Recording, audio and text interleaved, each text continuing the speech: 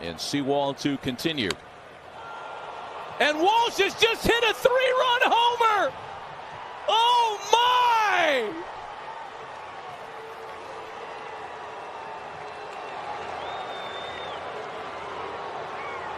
Wow! Walsh. Did you see the? Did you?